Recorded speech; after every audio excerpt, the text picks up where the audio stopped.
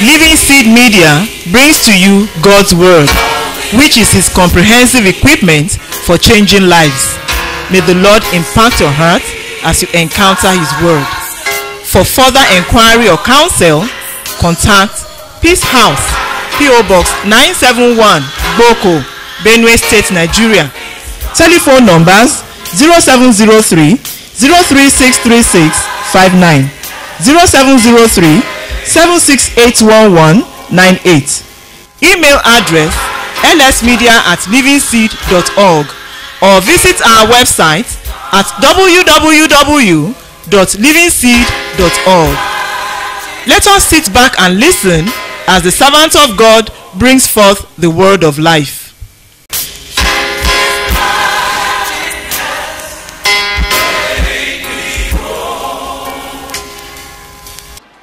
I'd love you to turn your Bible again to our text, our team text, Jeremiah chapter 1. Are you in Jeremiah chapter 1? Huh? Right. And I want you to get down quickly to verse 5. Before I formed you in the womb, I knew you. And before you were born, I consecrated or I have sanctified you. I appointed you a prophet to the nations.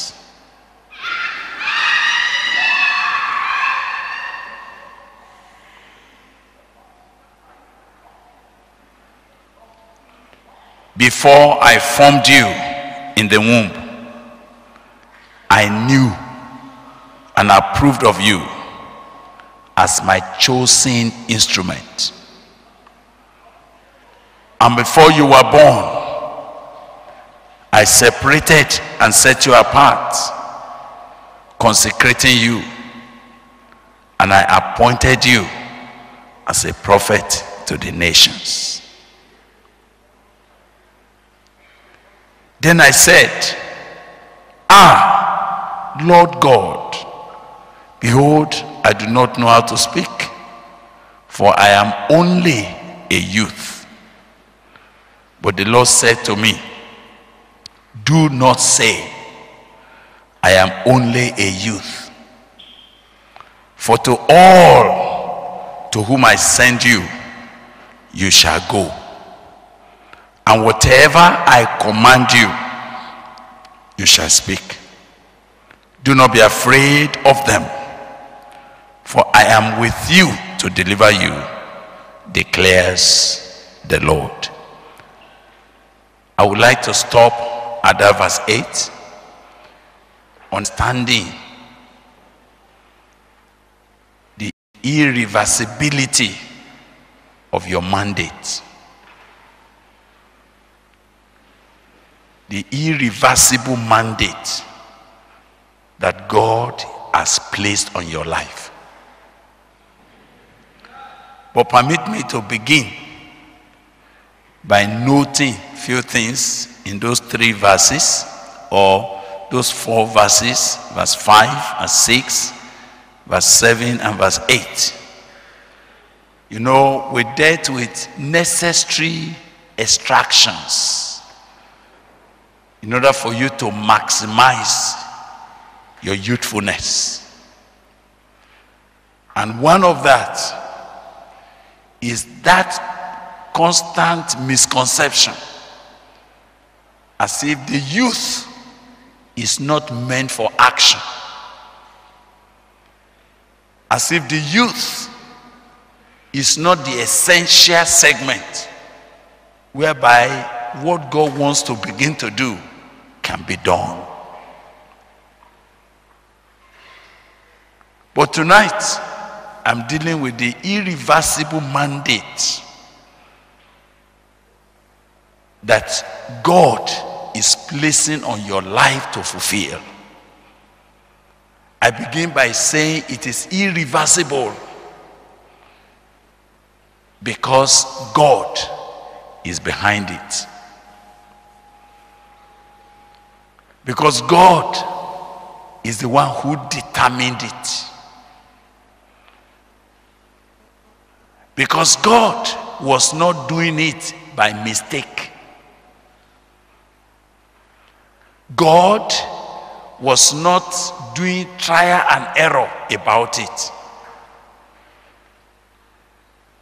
God, by his wisdom and his determinate counsel,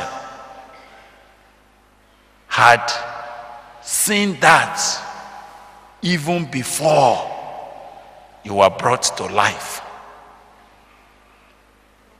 And the counsel of God concerning your life, nothing can change it. Hallelujah. He said, Before I formed you in the womb, I knew you. Do you have any problem about that statement? Eh? Eh? Is it difficult for you to believe that before he formed you, he knew you? Eh? I want that to be clear to you.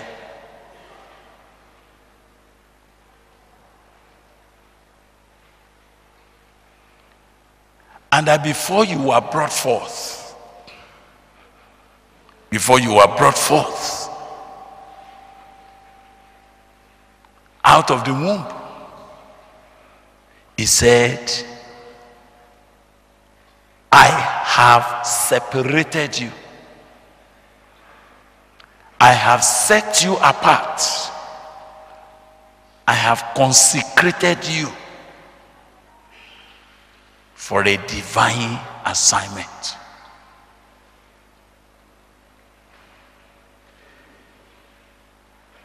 I have approved of you as my chosen instrument. And I have appointed you. I have appointed you. Do you know that a passage like this was repeated, but in the New Testament? I want you to quickly read it. So that again, you might not be thinking that, way. that is about Jeremiah, it's not about me. Can you quickly look at John chapter 15? John 15. When you get to John 15, we're going to read verse 16. You have not chosen me. Have you seen that? You have not got there yet. I want you to get there very quickly. John 15 and verse 16. What did he say? You have not chosen me, but I have chosen you. And I've done what? I have ordained you that you should go and bring forth fruit. And that your fruit should do what? Should abide, should remain.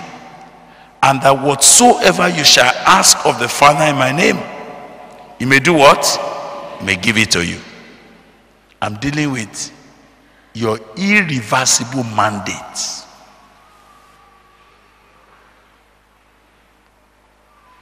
Your irreversible mandate.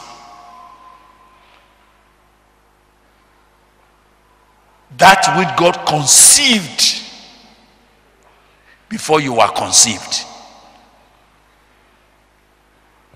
That which God had fashioned and planned for your life to accomplish, for which reason you were actually born.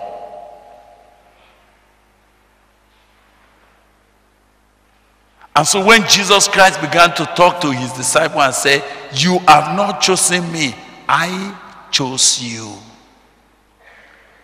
And I have ordained you. You know the word ordain in that scripture is not the laying on of hands for ordination. I have destined you. Abi? Is there any version that somebody can read for me and it's not the word ordained they use? I have done what? I have appointed you.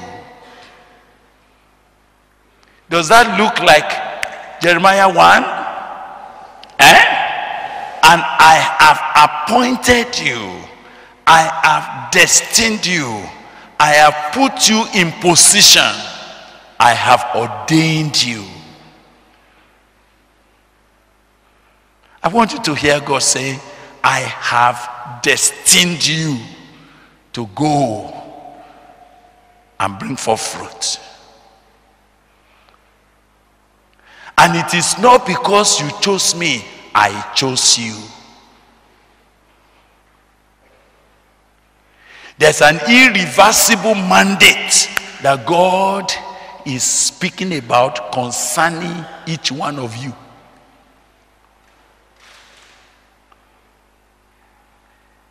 There's a divine expectation for which heaven has, has set your life apart for.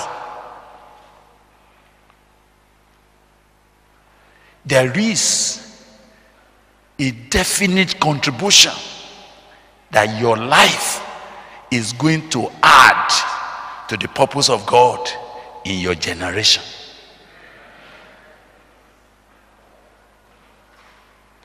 And may I inform you tonight, because as I'm reading from that scripture, from the Jeremiah passage, it appears clearly to me that it is irreversible. You will fulfill it in the name of Jesus Christ. I don't know why my spirit is so enlarged towards you tonight. But I know it was God.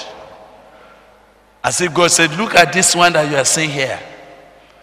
My mandate upon their lives is irreversible, it will come to pass. I want you to know that the struggles that Satan had had over your life, the matter of up and down, rising and falling, is because of that mandate.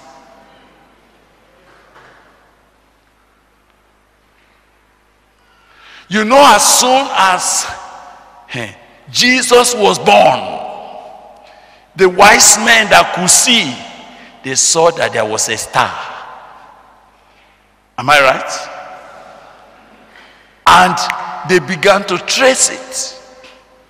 Unfortunately, the people among whom he was born, they did not see it. They did not understand. So when the wise men came, and that is very amazing to me because you know the other day I read to you. I said when Moses was born, his parents saw there was what? A proper child. And for that reason, they were willing to sacrifice whatever they had to keep him because he has a mandate. And because of that, as if Satan is saying, so that there be no deliverer among all these boys that have been born, let us just kill all of them. And when Jesus came, and they saw the star, those ones said, Kai, we have seen his star. Something great has been born into the earth. And when they branched to Herod, Herod was thinking in his mind as he was mobilized by the devil. I want you to remember that Herod. I hope you know the Herod. That's the Herod that was taking somebody's wife. That's the Herod that beheaded John the Baptist. That was that Herod that thought he was going to sit on the throne and be doing atrocities. He gave order said, Any child that is from two years and below, and he a boy, do what? Kill them. Why did they kill all of those ones? Whom did they, what, what did they want to kill? They just want to kill that man, Jesus. That's why they were killing everyone else.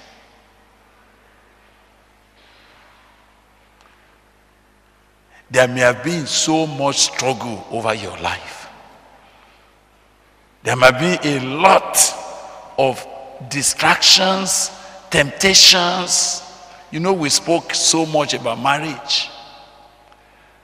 And because of what God is planning your life for, Satan is saying, let us see whether we can divert him or divert her through the bridge of marriage. But God has risen on your behalf. Your marriages will be correct in the name of Jesus Christ.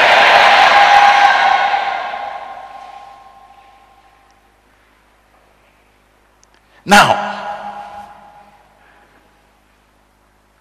so the first thing I want you to know is that there's a mandate that God, in His mercy and in His wisdom, has earmarked that your life is going to fulfill. And I want to announce to you it is irreversible. God will bring it to pass. But while God was making that announcement, Jeremiah said, Ah, Lord God, behold, I do not know how to speak, for I am only a youth.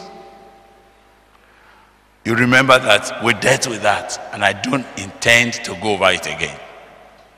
I believe that the Holy Spirit has extracted that from your heart. Has He done it? I trust God that it is done. I trust God that you will no longer say, I am only a youth. You will remove the word only from your vocabulary. You will know actually that this segment of your life is the essential years. Is the foundational years. Is the matrix of what you are going to be and what you are going to do and how you are going to do it for god. So you will permit me not to spend time on what the man said Ah, Lord God, behold, I do not know how to speak, for I am only a youth. All that you thought was your deficiency or your predicament, God will handle it in the name of Jesus Christ.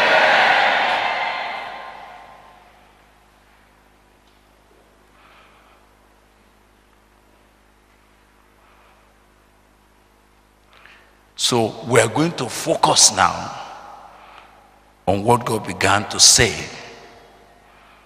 in verse 7.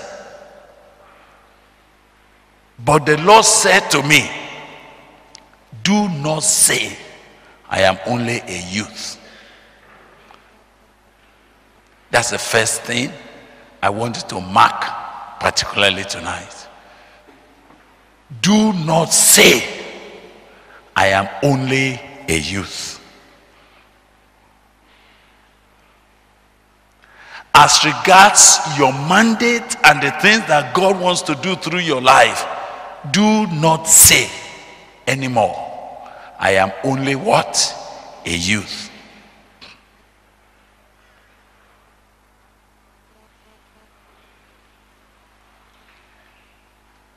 How old was David when he rose to the challenge of Goliath.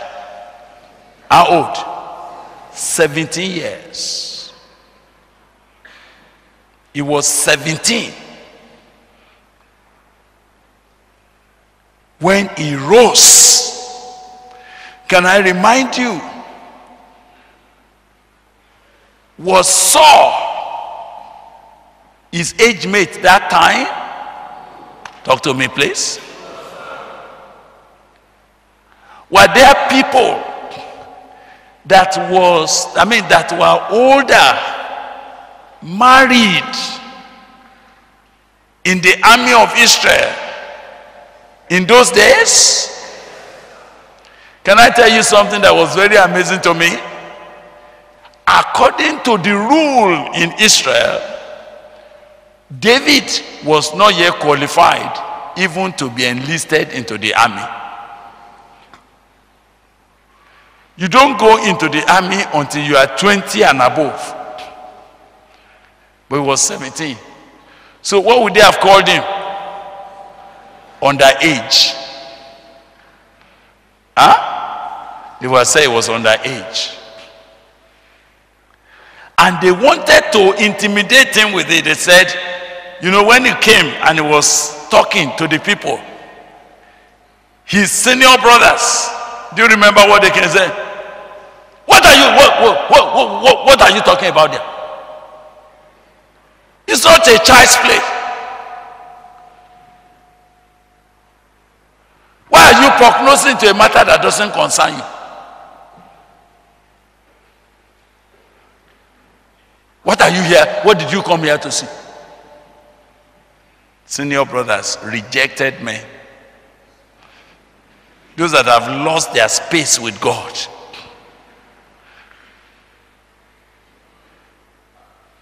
And they were looking and saying, and the sheep that we told you to be keeping, eh, whom are you left it with and you are coming here to come and sightsee? And the young man said, ah, ah, is there not a cause? And you remember in the morning yesterday, the Lord said, God must raise young people here who can see a cause to respond. God will show you a reason why you cannot lie down again.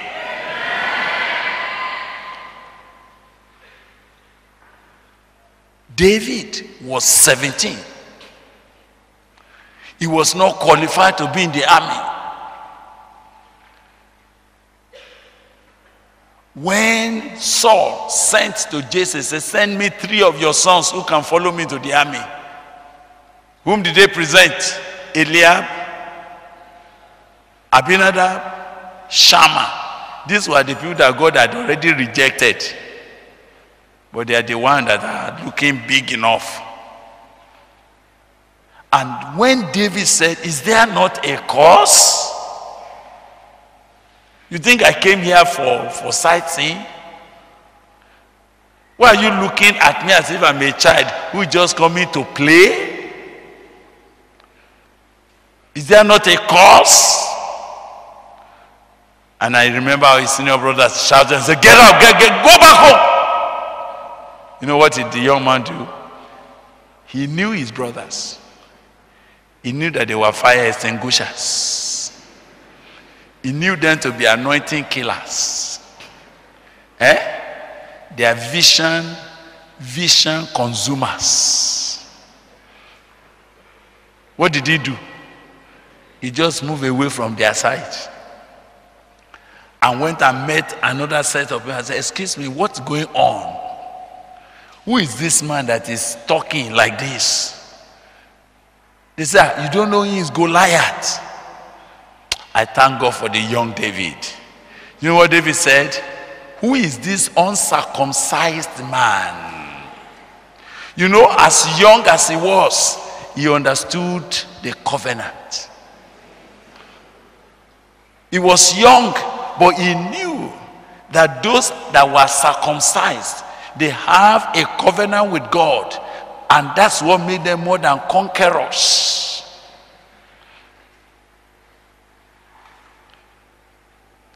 And as he was speaking among the people, he said, Look,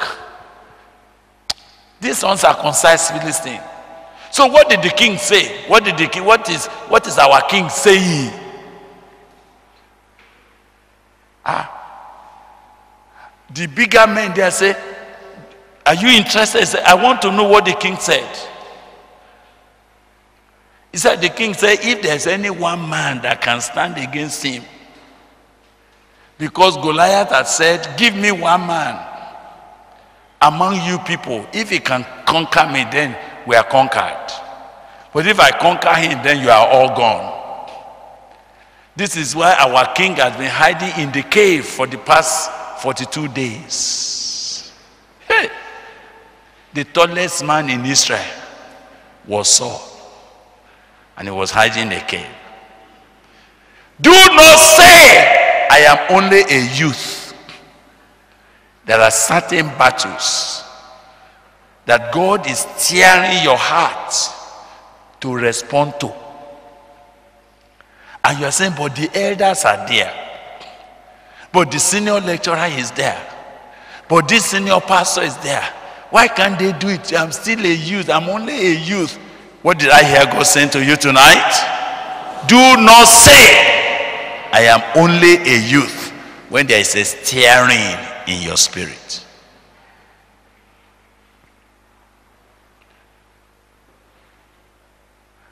And as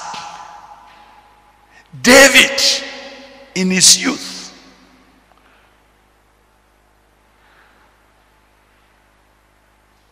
he said, What did the king say? The king said, If any man can face this man, I will give him my daughter. Again, David, he wasn't, he didn't come to look for a wife. That was not his own motivation. His own motivation is that there's an uncircumcised Philistine who defies the name of the Lord, who is abusing the army of Israel as if there's no God in our midst. And that boy said, Even if my seniors don't know how to do anything about it, I will arise.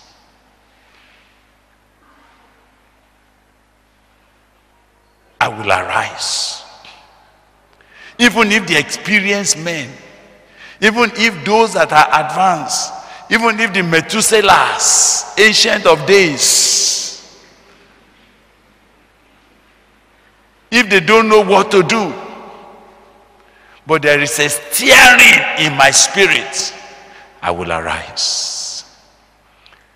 If you read that story as we tried to study in the morning yesterday, you will remember that that's how they took him.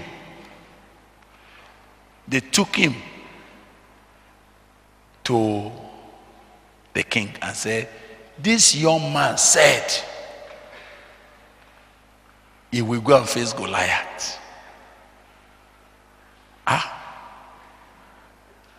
And do you remember how the king also looked at him? What is the first thing he did about him? He despised his youth. Do you remember that? What did he do?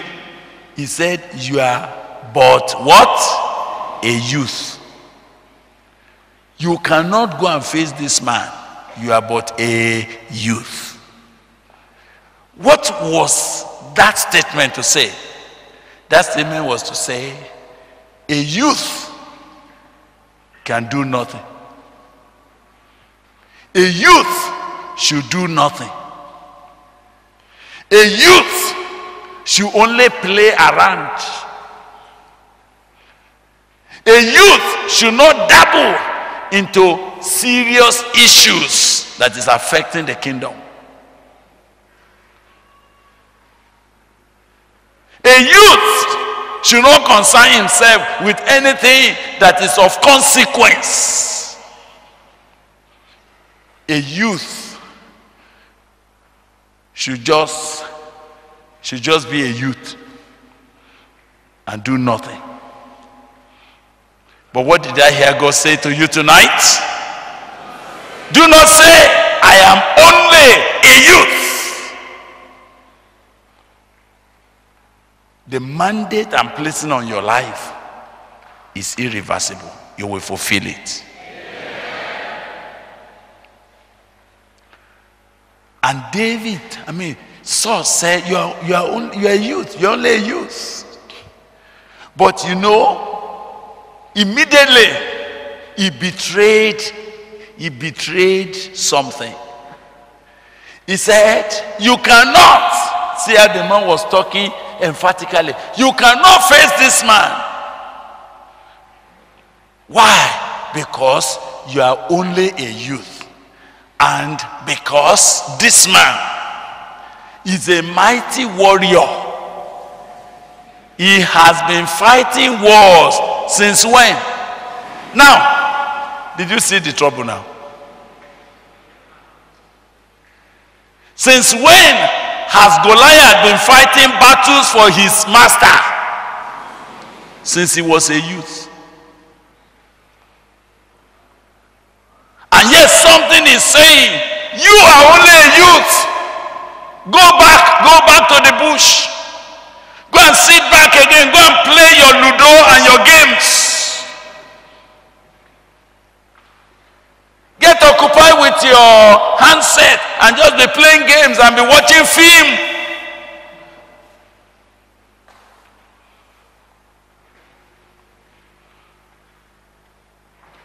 Because youth is not meant for something serious.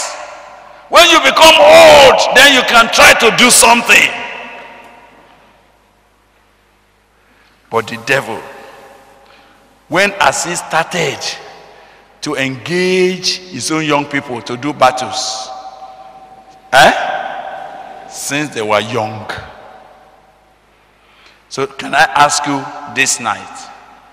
When will you begin to fulfill your mandate in life? Now!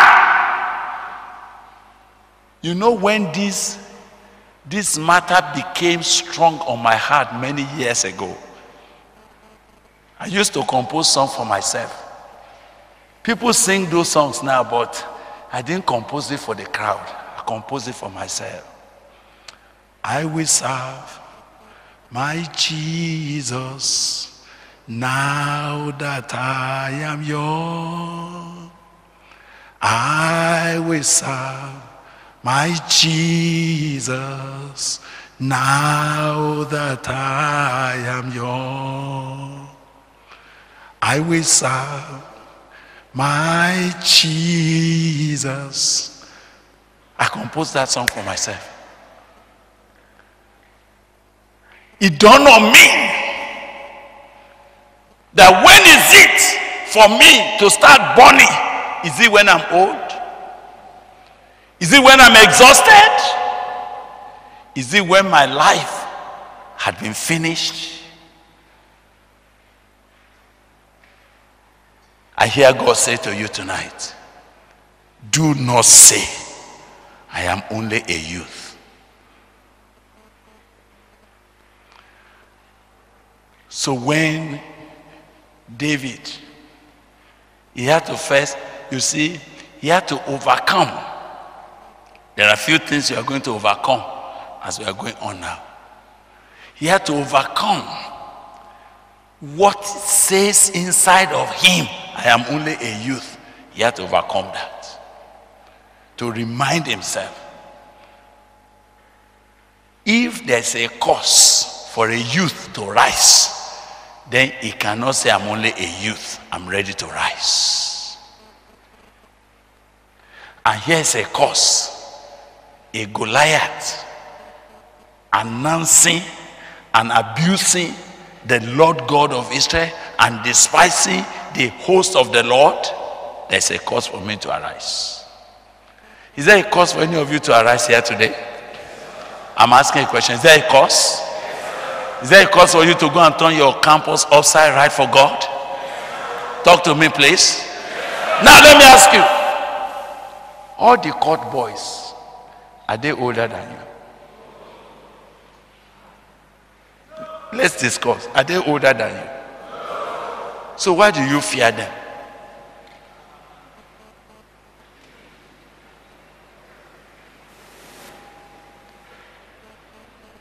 Why did they become a terror?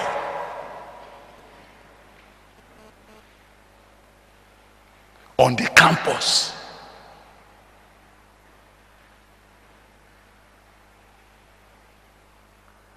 Why are they behaving as if they have advanced so much in age that they can command and other young people are running after them.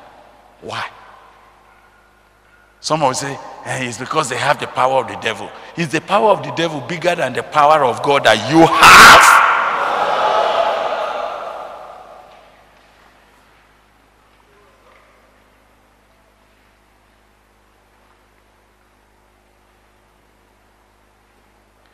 The conjuring that they are making, and if you listen to them very well, you will know that they just they are just putting some psychological words together and creating intimidation for everybody, and you know, making some incantations and doing as if they are calling a spirit. Let me ask you, even if they were able to invoke legions of spirits, is the legion of spirits they invoke, is it equal? To one word of power that God put in your mouth? So let me ask you, why did they become a matter and you are not the matter? Why? Because something tells you, I am only a youth.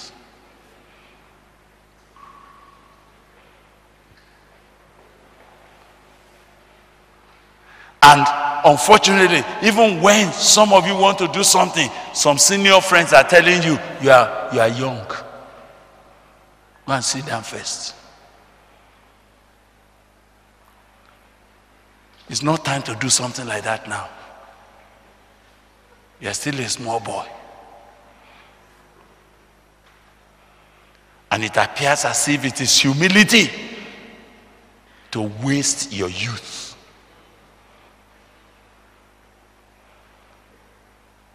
I thank God that David will not allow it.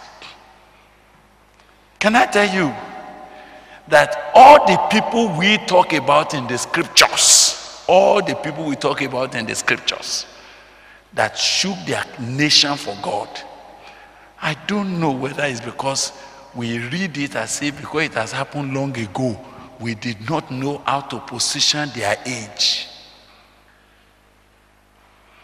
Can I ask you, when did Joseph? How old was Joseph when he interpreted the dreams of Pharaoh and he became the second in command in that great nation that was the world power of the time? Who knows when? He was 30.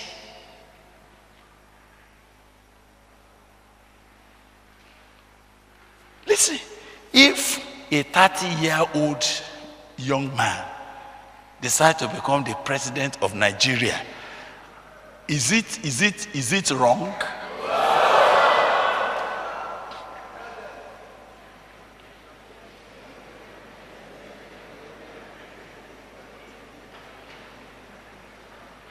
But do you understand that the young man that turned the, the economy of Egypt because the Bible reported that there's an excellent spirit in him, he was only 30, he wasn't married.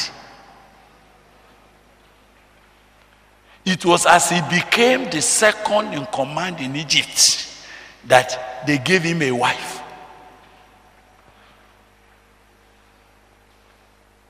But you will notice that coming up to stand on the platform at the age of 30 was not his first exploit.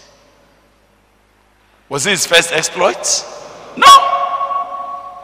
So if we are counting his years, when did he interpret the dream that translated the butler and the baker? When? How old was he? He must have been something like 20, 28, 20 something.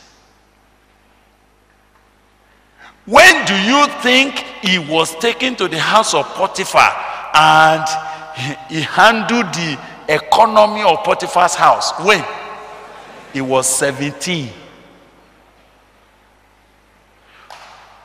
You know, I need God to open your ears and your heart tonight.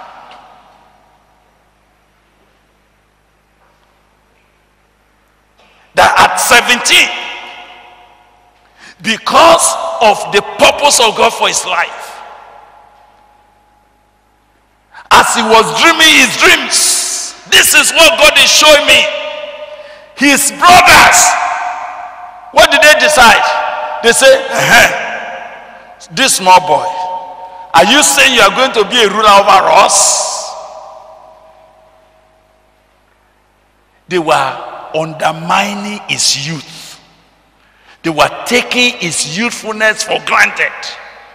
And they were capitalizing that because he's a small boy, how can he be having such a big dream of what God is going to do about him?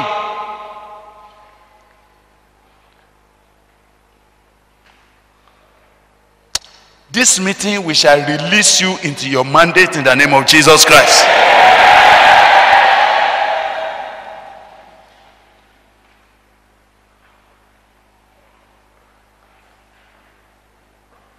But you see, as they thought that they can quench him, that they can kill what is inside of him, the Bible said, but the Lord was with Joseph. When he go to the house of Potiphar, the Bible said the man noticed that the Lord was with him. Am I right? And so he handed over everything to him. And whatever Joseph did prospered. The business of Potiphar prospered to the point that Potiphar's wife started to flirt about the young man. But that boy, he knew where he was going. I told you the other day, I said, it's because of that mentality, I'm only a youth, that will make you give attention to useless things. That make you to spend hours doing things that are irrelevant. That will make you give attention, even if it is two hours, three hours, onto such things that when you ask yourself, what is the value of this thing for me? What is the value of it? You suddenly say, there's no value. There's no value.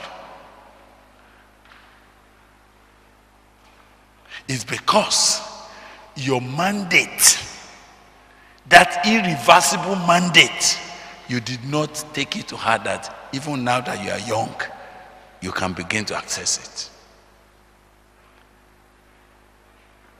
It was impossible for Joseph to agree to sleep with old woman. Eh? I can hear him singing. I love him the way he sings. When Miss, when when Madame Potts, you know, I normally I call her Madame Potts because you see they call her Mrs. Potiphar, but she's actually Madame Potts. The short form of her name was Jennifer Potts.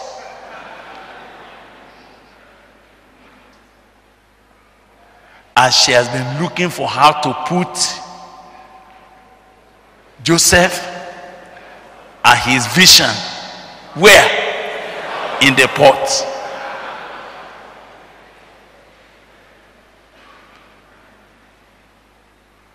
And she started. Instead of oh, calling Joseph, Joseph Jacob, he said, JJ, JJ. And when the boy would go and say, Yes, ma'am, ma'am, ma'am, he said, No, no, no, no, no, no, no. You are making me feel old. Call me Jenny. I'm Jenny. Jenny Pot.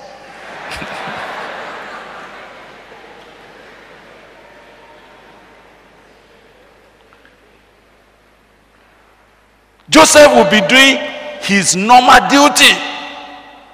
This woman would dress loosely and say, Joe Jack, Joe Jack. I've been calling you, I'm dying for you. Ah. And Joseph said, I have a dream for my life. I have a dream for my life. My life will never waste. I have a dream for my life. I have a dream for my life. I have a dream for my life. I have a dream for my life. I have a dream. My life shall not waste. I have a dream for my life. My life will never waste. Ah! JJ! Say, madam. He said, no, that's what I don't like. Don't call me madam. I'm churning. And if you don't know, the whole of my intestine is moved whenever I sight you. I feel conquered whenever I see you.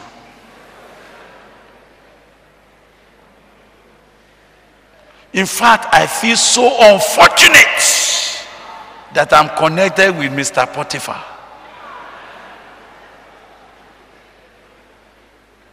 I hate that surname. In fact, if you know the secret desire of my heart is to be Jennifer Joseph. And Joseph said, What? I'm seeing a pot here. My life is not meant for this pot. Madam Pot, look for someone else. The Bible says she was making eyes to him every day. She was rolling the eyes in the socket 360 degrees.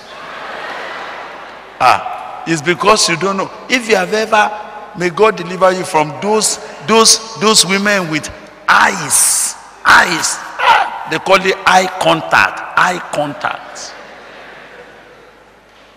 They can roll their eye from this side to this side, and if you are seeing it, ha, you are in trouble. But when they are doing their eye like that, close your own, close your own. Because you are going somewhere for God. Are you going somewhere for God?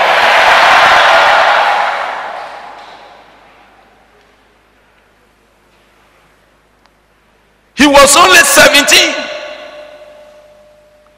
when they began to arrange this for him. But the young man said, No. I could lose my clothes, I will not lose my dream. I will not lose my vision on the lap of Madame Pot. I'm not meant for that pot. I'm going higher. She told a lie. Nobody investigated it. That's how they took Joseph Joah into the prison. No problem. The Lord was with him. As soon as he got to the prison, he became the leader again. The prison warder does not know anything again, just handed over to him. So he was in charge of everything. What is it? It is the thing the man carried that cannot be reversed. There's an irreversible mandate that God is placing on your life. Now, permit me to go on quickly because I just need to set these issues tonight because I want you to start praying. I want you to start accessing your mandate. You are not going to go back for this meeting to go and sit down again. You are going on fire in the name of Jesus Christ. Do not say, I am only a youth. For to all to whom I send you, you shall go. That's where I want to anchor tonight. All that I have mandated you to do, you will do it. All that God had ordained, had prepared, and arranged that you will do, that you will carry out, He said, You shall do it. Said, For to all to whom I send you, you shall go. And whatever I command you, you shall speak. Hallelujah. I was looking at that verse 7. I said, So, what's the essence of this particular verse? First, in the life of Jeremiah, and in my own life, and in your own life. What is the essence of that passage? Number one, I hear God saying, Do not say, I am only a youth. Do not downgrade and devalue what I have put in your life.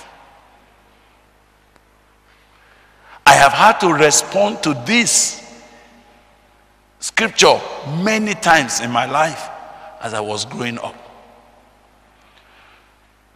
I remember, you know, when you were listening to the story in the, in the marriage tape, I told you about the persecution that I used to, I went through for several years, 12 years, because I gave my life to Christ from my family. Because the way I repented and the way I would not tolerate anything of idol worship, anything of oracles, anything was a threat to my father. And I knew that power engages power. I know he himself is powerful in the realm in which he operates. And I remember going to God and say, Father, I know my father has power with the devils. Can you give me power also?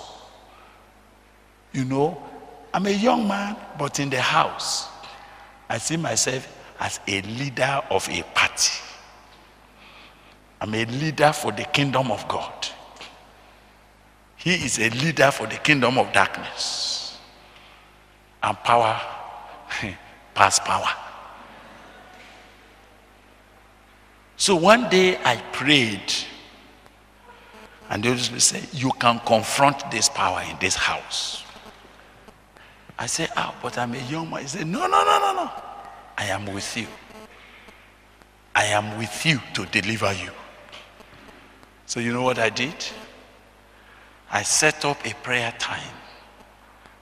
I had another younger a cousin that has repented and has been praying with me. I said, We are going to pray. So we, we were fasting.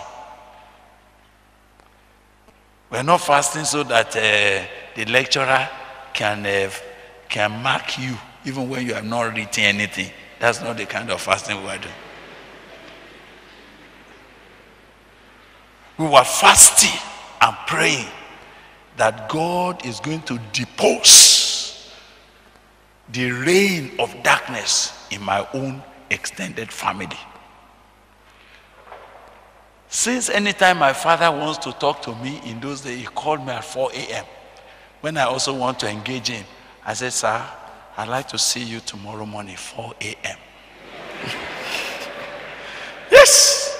You know, one of the things that I discover is that when I began to act as if I'm a very matured man, my father began to take me seriously. I said, we are, I, I want to have a meeting with you 4 a.m. tomorrow. He said, Oh, 4 a.m. He said, I will be there.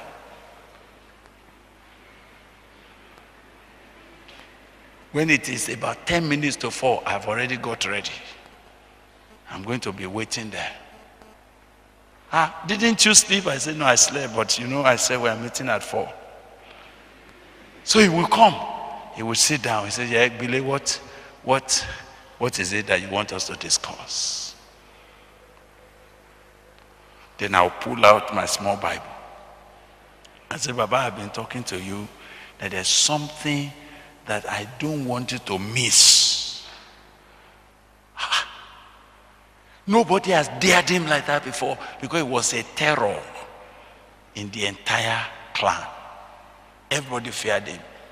Soldier men, army officers, top, top commissioners of police, chiefs and kings, they come to receive power. Pastors, they come to my house to collect power.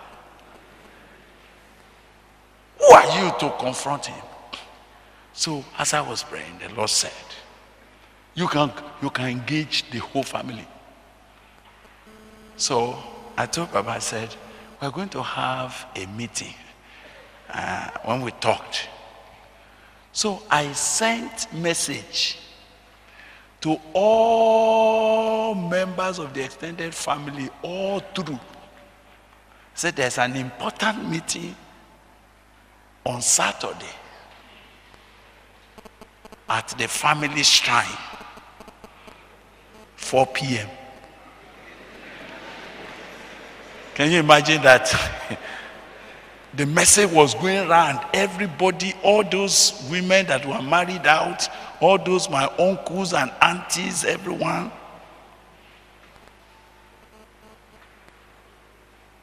Someone in Lagos, I said, Lord, can you bring them? Because I want them to hear this matter. Can you imagine? All of them were arriving. And you know, they thought it is their uncle that has invited them. So they will all go to pay homage in the family shrine to say, Baba, we have arrived. They say, eh, I didn't call you. They said, No. We got a message. He said, Yes. As you are hearing, that's also I'm hearing.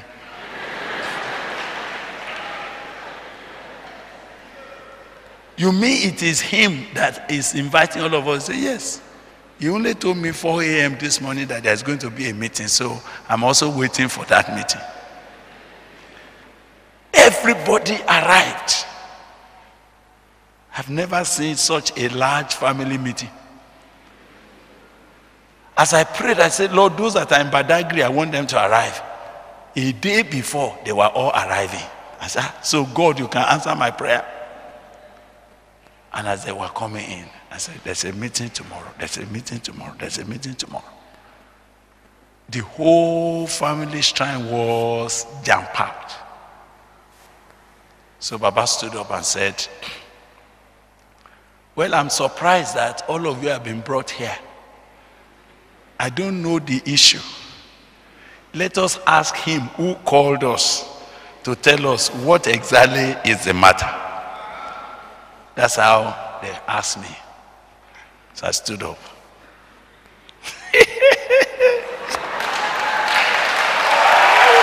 you are going to be a radical for Jesus. Yes. Do you know what I did then? I may not have been able to do it now. Because now, as an old man, sensibilities will not let me do it. I'll be saying, well, you know, you know. But that time, there's no consideration. So when all of them sat, I stood up. And I said, I greeted them the way I normally should greet elders. I said, there's a matter that I have been chewing in my heart for a long time. Ah. And it is the condition of our family. And there's a question I have not been able to answer that is causing me to cry day and night. They say, What is it? I say, It's a very terrible question in my mind. All of them I say, What is it? Tell us. I was keeping them in suspense.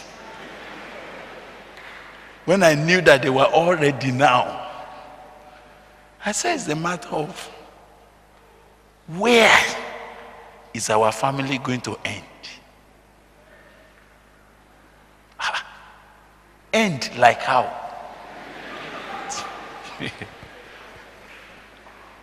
I said, because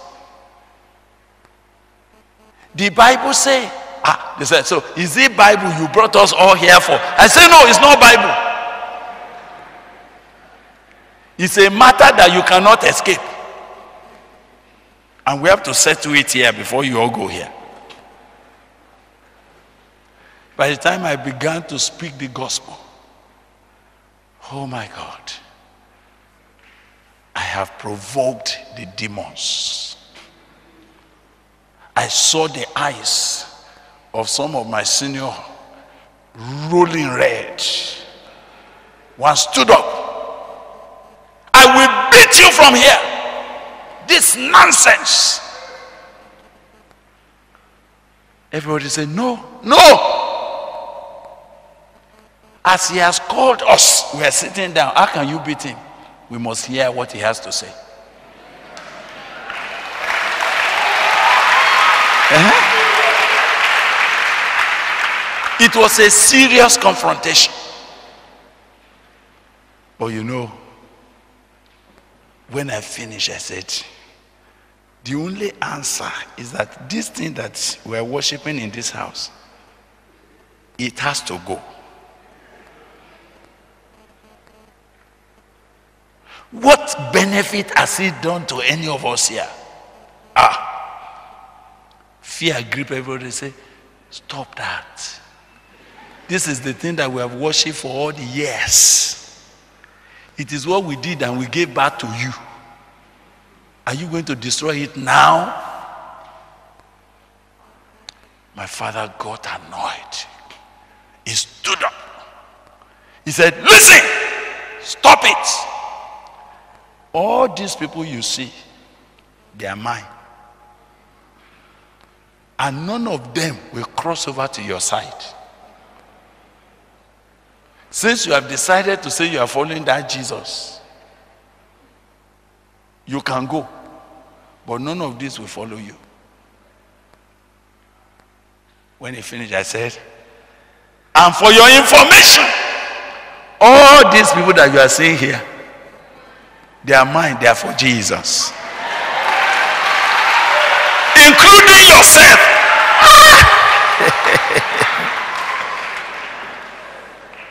mm. Of course, the meeting became scattered. It was as if there's going to be a serious quarrel. Different people started saying, We didn't know that that's what you are bringing us for. This is our own father, is our own uncle. We cannot leave him in what he's doing. We have to follow him. I said, No, you can't follow him. You must follow Jesus. It was a confrontation. But though I did not see anybody repenting by raising up their hand that day, huh? Something has happened. I didn't know. It was two days after I was in a taxi. I entered a taxi. I was going somewhere for fellowship.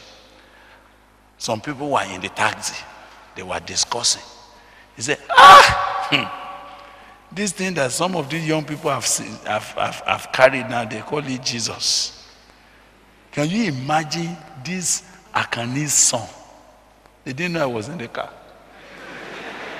Who gathered everybody from all the city and told his father that his father has to repent and stop doing what he was doing if he will not go to hell. Can you imagine that?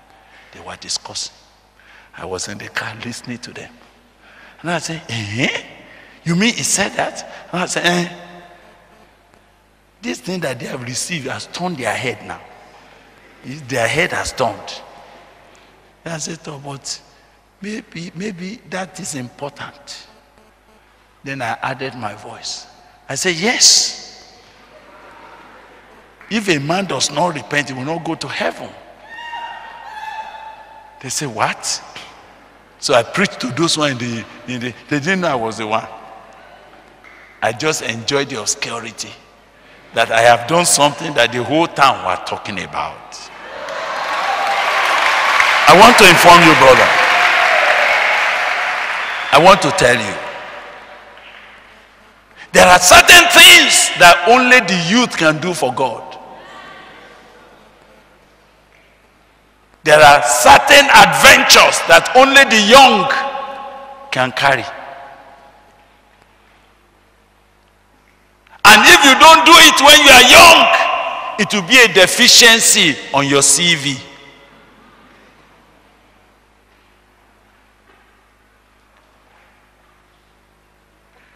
When are you going to demonstrate the exuberance, the strength that God has placed in your life?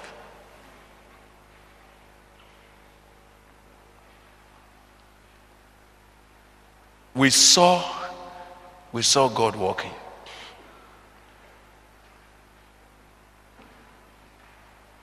One of my cousins that had been demonized and he has left home for years. He will never come back. Something has scattered his life. We began to pray. So as I was praying, the Lord said, I will bring him home. So one day I just, he just came back to the house. Everybody was wondering, how, did he come? How did he come? And the Lord said, but you told me to bring him. When everybody was greeting him, I called him. I said, brother, I prayed for you to come. It's because what is pushing you up and down, only Jesus can deal with it. And I thank God. I forgot that he was very, very senior to me. You know, when you are standing in what we are talking about, the boldness of the grace of God will subdue the young, the old men before you. I was telling him this, he looked at me. He said, Believe but you are, you're a young man, you don't know what is happening. I have struggled. And I said, Yes, I know it. That's why I'm calling you. Jesus said, If the Son shall set you free, you'll be freed indeed. If you want to be free now, I'll just lay my hands on you and you'll be free. Ah, he was wondering. But you know that afternoon, he gave his life to Christ. I got him a, a Bible to read. And up to now, he is a pastor in a deeper life church.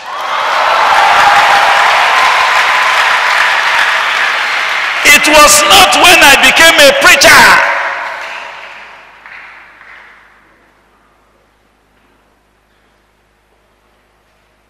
Do not say, I am what? I am only a youth. For to all that I will send you, you shall go. That's what God is saying to you tonight. Your mandate is irreversible. What God has ordained for you to become, nobody can change it. And you will arise and say, Father, that which you set me apart for, that which you deliver me from the power of darkness for, I will fulfill it in the name of Jesus Christ. For to all to whom I send you, you shall go. And whatever I command you, you shall speak. Do not be afraid of them for I am with you to deliver you, declares the Lord. We'll stop there tonight. That each one of you sitting here tonight, the things that God has set your life for, you will do it.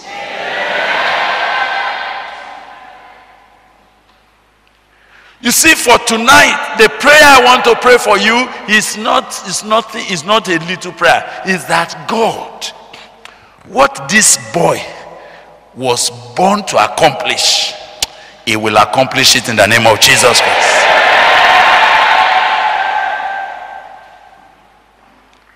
The extent to which this young man, this young sister, must go to fulfill your mandate on his life, on her life, she will get there. That's what I saw God saying to Jeremiah. I said, Never you say I'm only a youth. Everything I am speaking to you, you will do it. Everything I'm instructing you for, you will go and do it. And I'm with you to deliver you. You don't need to be afraid. So tonight, two issues of prayer. Just two issues. You see, there are a few things that we have been dealing with since we started. We have been dealing with the entanglement of sin. We have been talking about distractions. We have been talking about discipleship.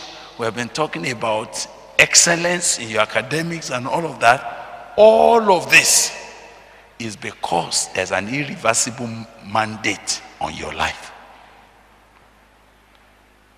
All of this is because you were born not to be used by the devil.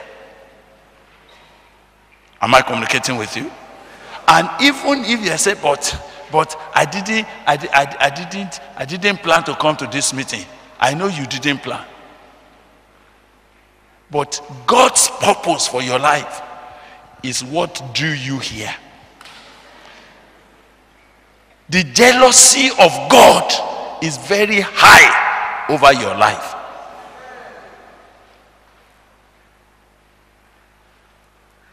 Because the mandate that heaven set that your life must accomplish cannot be reversed. So we're going to deal with two issues of prayer, just two issues for tonight, and it's not going to be a long prayer. If you have understood what God is saying, you will again search through your mind everything and ask, what is it that remains? What is it that is not part of what I was born to be that I'm entangled with? When our brothers were leading us and the sisters gave their testimonies about their choice in marriage and all of that, and the sister, Sister Yinka, said, when she was at 300 level, she was pleading with God, What is your vision for my life? Do you remember she said that? And God began to speak about what a future she will enter. And I'm happy. I sat behind, I was listening to that message. I said, Yes. And I've watched them walk into all those things that God is speaking concerning them, and I still know there are greater things they will walk into by the grace of God. But that God is saying, You do not say, I'm a youth. So when people are coming and say, I have entered into a relationship that I know it's not from God, I have entered into a relationship that is scattering my work with God, and I'm going to say no to it. I was just, I almost came out to just begin to shake your hand and say, Praise God for that. Tonight, go and write straight away. Send a text. The things I used to do, I do them no more. The boy I used to keep, I keep him no more. And then, and then as you, as you finish that, you now say, you now call him by his name. Kunle. The things I used to do with you, I do them no more. Send that text tonight. I'm sure by tomorrow morning, 6 a.m., he will call back and say, What's wrong with you? What's wrong with you? What are you thinking about? And you tell him, I am pursuing my mandate now, and you are not part of it. You are not what?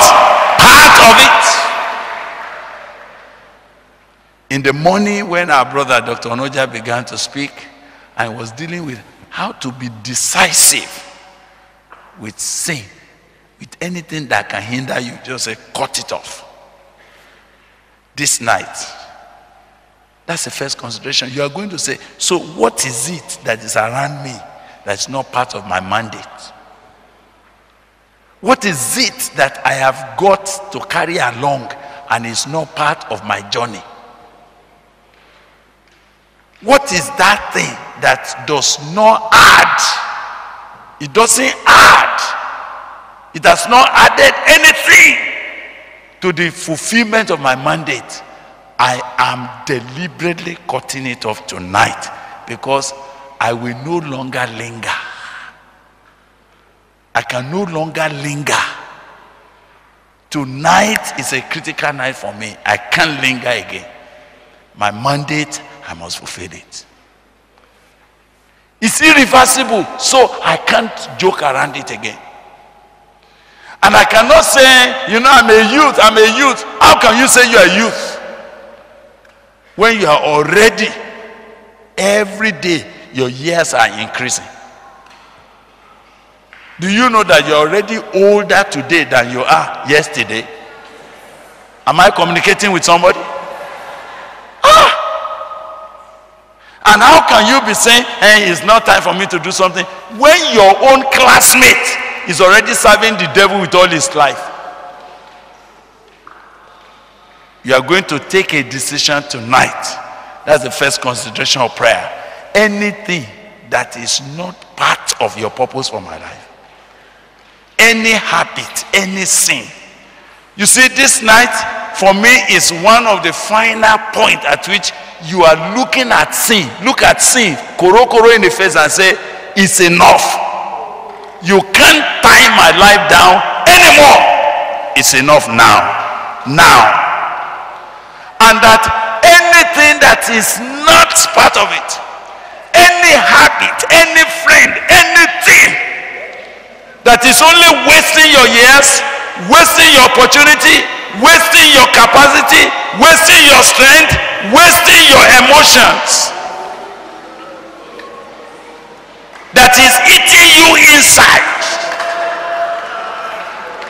Is is is is drawing something out of you. Is making you less than what God wants you to be. He keeps saying you are a youth, you are a youth. How long will you be a youth? You are going to say, Lord, tonight. It is not a matter, it's a violent thing now.